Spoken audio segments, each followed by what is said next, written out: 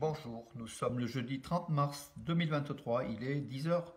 Quelques news de l'Arménie, de la Sarre et de la diaspora arménienne. Tout d'abord, un, court passage sur Valence. Donc Valence, lundi 27 mars, en l'église arménienne Saint-Sac, les amis, la famille, les amis ont rendu un dernier hommage à Alutyun Arthur Kirazian, avec des centaines de personnes venues justement pour euh, cette cérémonie funèbre. Euh, beaucoup de, beaucoup, beaucoup, énormément d'amis, hein, donc en plus de la famille. Donc son cercueil était recouvert du tricolore arménien. C'est l'engagement de l'homme envers euh, la, l'Arménie, la FRA, la Fédération révolutionnaire arménienne dont il était membre, il était proche, aux associations, au monde de la danse, puisque c'était un homme amoureux de la danse folklorique arménienne. Alotun Kilazian était né en 37 à Alep, en Syrie. Très jeune, il perd son père. Il assumera alors la charge de toute sa famille avec sa mère et ses deux frères, Miran et Agop. En 59, il s'installera à Beyrouth à l'âge de 22 ans, où il, exercera le métier de peintre spécialisé dans, le mobilier. Et puis il se mettra à son compte. La passion d'Arut, donc Arutun Kilazian, était la danse folklorique arménienne. Excellent danseur, il apparaîtra au Liban dans nombre de prestations et même au cinéma. En 65, il se mariera avec Hasmik Manoucharian, avec laquelle il aura quatre enfants, Sonia, Archo, Rupen et Kevork. En 75, lors de la guerre du Liban, il perdra son fils aîné, Rupig, et décide de fuir la guerre et se réfugie en 76 en France, à Valence. Il veut alors partager sa passion pour euh, la danse et décide de donner des cours de danse folklorique arménienne à Lyon, Grenoble, Marseille et Valence. C'est à Valence qu'il créera la troupe de danse, qu'il créera dans la troupe de danse arménienne Sadarabat. En 79, Hasmik, son épouse, donnera naissance à un garçon qui prendra le nom de Rupik, le second Rupik de la famille Kilazian. Harutun Kilazian était le grand-père de sept petits-enfants et d'une arrière-petite-fille. Il était très apprécié pour ses qualités humaines, humanistes, jovial, tout, au travail, tant au travail que dans la vie de tous les jours. Harutun Kilazian a beaucoup œuvré pour les associations arméniennes, Men, euh, il, était, euh, euh, il, affirmait qu'il avait, il a survécu il y a 14 ans à deux graves maladies. Il affirmait que c'est grâce à Dieu, c'est un cadeau de Dieu, c'est grâce à lui que j'ai pu combattre ces maladies. Il était aussi le, parmi les cofondateurs de l'association culturelle Arménia en 1996. Sa fierté était de former des familles arméniennes et affirmer que je suis l'homme le plus riche du monde car je suis entouré de mes familles, de mes enfants et mes petits-enfants. Harutun Kilazian, dit Kilaz, figure locale très appréciée, est parti paisiblement dans son sommeil. Il manquera grandement à ses proches, à ses amis et à la communauté arménienne toute entière.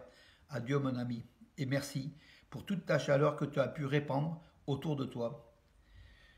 Voilà mes amis, un petit hommage que je voulais rendre à mon ami, donc un, ami vraiment qui m'était très très cher et qui était cher à beaucoup de monde, hein, mais particulièrement moi je tenais beaucoup à lui, euh, Harutun Kilazian qui est parti, voilà, qui est parti donc la semaine dernière avec ses obsèques qui sont déroulés donc euh, en grande pompe, hein, je dirais, parce qu'il était, il y avait énormément de monde, voilà, il était très apprécié. En tout cas, son souvenir, restera à jamais dans nos cœurs et dans nos esprits. Euh, Karen Khachanov, on passe donc à une actualité plus, comment plus donc, euh, générale. Voilà. Karen Khachanov a battu euh, Stefanos Tsitsipas au tournoi de Miami. Voilà, il est en quart de finale. L'armée russe est en quart de finale. Voilà, donc il fait un très très beau parcours. L'événement du jour hier, donc j'en parlerai donc déjà hier, j'ai fait quelques messages sur Facebook. Euh, donc le président du euh, le président d'Auvergne-Rhône-Alpes, donc de la région Auvergne-Rhône-Alpes, Laurent Vauquier, est en Arménie depuis depuis euh, avant-hier. Voilà, donc hier, il était dans la région de Sunik, Sunik avec laquelle la région Auvergne-Rhône-Alpes a des, liens très forts, des liens très très forts de coopération. Laurent Vauquier a été à Datev, à Datev avec le gouverneur de, de, de la région de Sunik et beaucoup de personnalités, hein, dont aussi le vice-président, les vice-présidents, dont le maire de Valence, Nicolas d'Aragon, et aussi la, mairesse de, de Dessines, euh, et puis, et puis le, maire de Vienne. Euh, il a été donc, euh, il a fait un discours hier donc à, à, Datev sur les lieux historiques à côté donc de, du monastère en fait, hein, dans la cour du monastère. Et il a affirmé comme, euh, a affirmé, il a affirmé comme une chose très très importante. Il a affirmé que celui qui touchera la région de Sunik touchera la région Auvergne-Rhône-Alpes. Donc en fait une défense absolue, absolue. Euh, voilà, donc euh, sa vidéo, vous pouvez la voir, hein, donc lors de son discours qui m'a été envoyé par, par mon ami aussi Didier Paracan qui était donc avec la délégation. Euh, son discours est très très très très impressionnant, très impressionnant, le discours de Laurent Vauquier et justement son engagement pour l'Arménie, pour la région de Sunik, pour les Arméniens. Bravo en tout cas à lui qu'on quel que soit le parti politique, en tout cas l'homme, l'homme, l'homme transparaît et l'homme est, un homme, un, homme qui est, qui est épris d'humanité, épris de, de, défense de l'Arménie et du peuple chrétien arménien. Voilà, donc euh, c'est un homme, un proche, un proche de l'Arménie et des Arméniens. Bravo Laurent Vauquier, bravo aussi à Nicolas d'Aragon, notre maire de Valence ici, qu'on apprécie, qu'on apprécie pour ses, son engagement envers l'Arménie et l'Alsar. Merci à vous tous, merci. Et, le SUNIC a, aujourd'hui plus que jamais besoin, face à une agression azérie, euh, a, plus que jamais besoin de ses amis forts pour que la France lève, le, lève la main et dise arrêtons la guerre, faisons la paix, n'envahissons pas donc à l'envahisseur azéri, ne touchez pas au SUNIC. C'est une région arménienne avec une population arménienne civile qui y vit et qui veut la paix, qui, veut y vivre paisiblement sur ses terres d'origine. Euh, alors oui, euh, euh, le, chef de, la mission de l'Union européenne en Arménie, donc les 100, observateurs de, l'Union européenne qui sont sur la frontière entre l'Arménie et, l'Azerbaïdjan, en Arménie. Donc le, chef de la mission est Markus Ritter, en allemand. Il affirme que si l'Azerbaïdjan ne lance pas d'attaque au printemps, la mission de l'UE en Arménie est un succès. Voilà, donc en fait, il y a aussi le doute hein, d'une agression possible de l'Azerbaïdjan. Euh, les forces, justement, les observateurs de l'UE, qui sont dotés juste de, caméras euh, sur place, ils ne sont pas armés. Ils peuvent, éventuellement arrêter, euh, dissuader donc l'Azerbaïdjan de ne pas attaquer l'Arménie.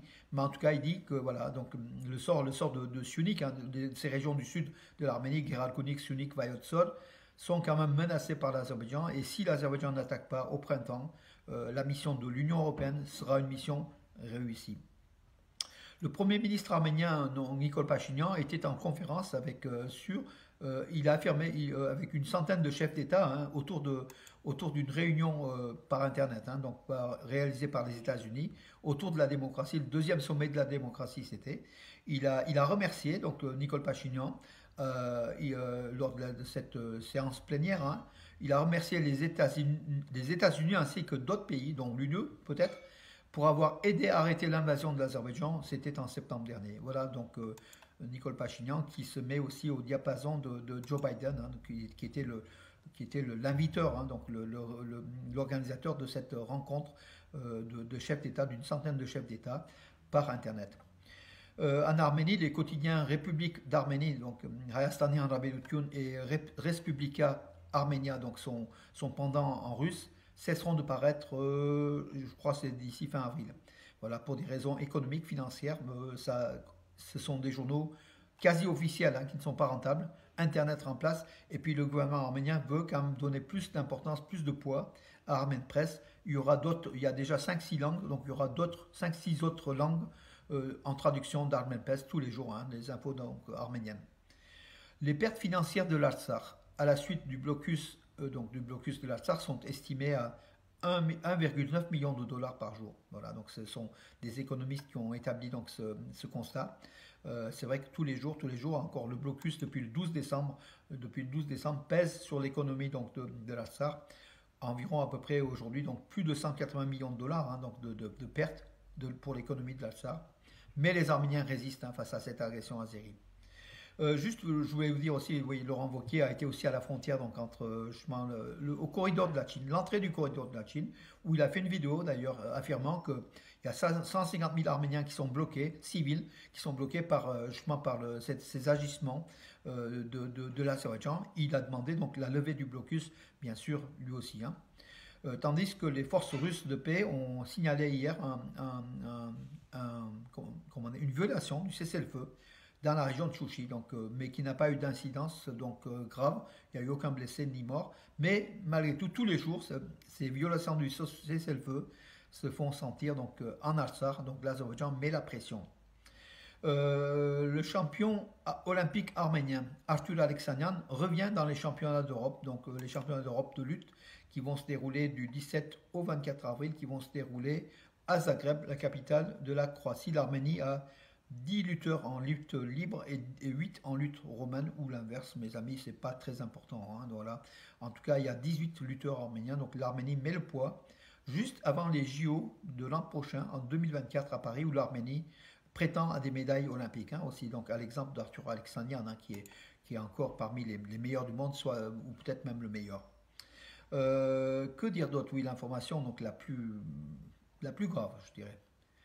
Les ministres des Affaires étrangères d'Israël et de l'Azerbaïdjan se sont convenus d'agir contre l'Iran. Donc hier, à l'ouverture officielle de l'ambassade de, l'Azerbaïdjan à Tel Aviv, en Israël. Euh, les deux chefs de la diplomatie israélienne et azérie sont entendus sur une action commune contre l'Iran. Voilà, donc en fait, au détriment, donc en fait, ça montre la position aujourd'hui ouvertement pro-israélienne de, l'Azerbaïdjan, d'où le risque, d'où le risque de, réaction de l'Iran. L'Iran, dont le ministre des Affaires étrangères était à Moscou et qui, qui a donc, avec Lavrov, abordé ce problème-là de, l'Azerbaïdjan.